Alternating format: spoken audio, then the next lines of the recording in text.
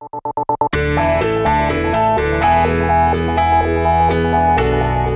know, this is, I'm going to try to make this as simple as I can. You know, here's a kid who obviously compares himself to other people. And if you go through life, I don't care if you're 16 or 36, you compare yourself to other people, guess what? You're always going to be sort of bummed out. Somebody has to come alongside of that kid, and I'm assuming you as a parent love that kid more than anybody else on this earth, so it might as well be you. Come alongside that kid and say, you know, honey, I, I gotta, I could be wrong.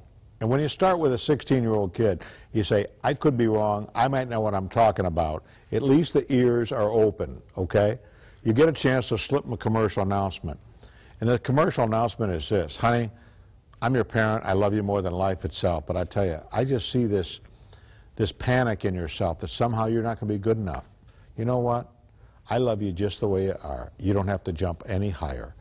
And I'd really like you to practice flaunting your imperfection not only to your friends in school, but to us, because it's just something you're going to have to learn to do in life. If you don't, you're going to end up always dumping on yourself, defeating yourself. There's enough enemies out there, people who aren't really good, quite frankly, who will dump on you, and you don't want to be dumping on yourself.